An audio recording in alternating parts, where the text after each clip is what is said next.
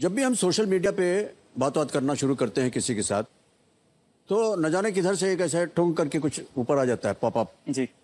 तो ऐसा क्यों होता है? पहली बात तो ये। और उनको कैसे पता चलता है कि जो हम बात कर रहे हैं या जिस विषय पे बात कर रहे हैं उसी से संबंधित तो पॉपअप निकलता है। सर होता क्या है कि जब भी हम अपने फ़ोन पे मोबाइल पे कोई भी नई ऐप इंस्टॉल करते हैं तो पहली बार जब वो ऐप चलती है तो हमसे बहुत सारी परमिशन माँगता है।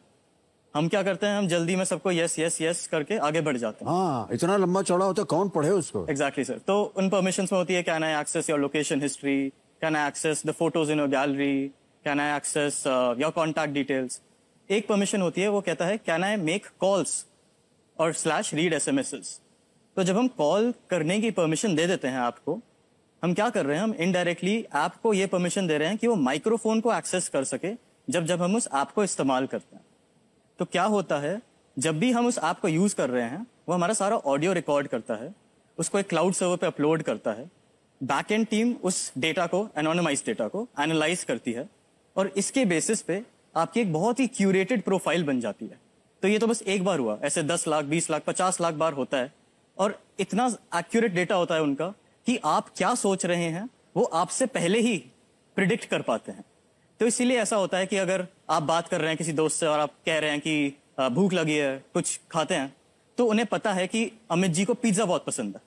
तो उसी टाइम पे अगर आप कोई सी भी ऐसी ऐप खोलें फेसबुक हो गया इंस्टाग्राम हो गया कोई भी सोशल मीडिया ऐप तो आपको डोमिनोज का एक ऐड दिख जाएगा या फिर किसी भी पिज्जा प्लेस का एक ऐड दिख जाएगा। तो ये उसके पीछे की साइंस है। सर ये तो बहुत खतरनाक चीज़ बताती है आपने।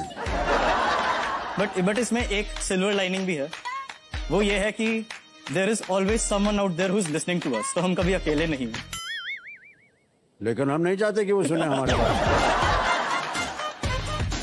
कैसे रोका जाए? ऐप्स को अनइंस्टॉल कर दीजिए। और जैसे हम पहले रहते थे बिना मोबाइल के वापस उसी जमाने में चलते हैं। अच्छा ये सारा कुछ जो है रिकॉर्ड हो रहा है? जी बट अनोनमाइज रिकॉर्ड हो रहा है। उन्हें ये नहीं पता कि अमित जी क्या बात कर रहे हैं उन्हें ये नहीं पता कि शाश्वत क्या बात कर रहा है। उनके लिए हम बस एक नंबर है। पर वो नंबर से तो पता कर लेंगे ना। नहीं नहीं एक सिम कार्ड लेते समय सब देना पड़ता है ना कौन है आप? आपकी हाइट क्या है? कहाँ रहते हैं आप? आप मेल है कि फीमेल है? नहीं नहीं एक एक आप रोबोट हैं कि नहीं? ऐसे सब आता है ना? एक यूनिक आइडेंटिफाइड टोकन है जिससे हम वापस नहीं एस्टेब्लिश कर सकते कि ये अमित जी की बात हो अच्छा। नहीं नहीं सर ये बातें समझ लेनी चाहिए।